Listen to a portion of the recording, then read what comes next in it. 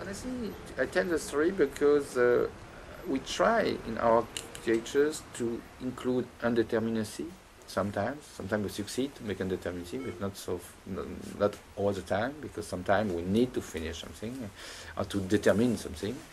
But we try all the time that the stories integrate a part of uncertainties, unfinishment.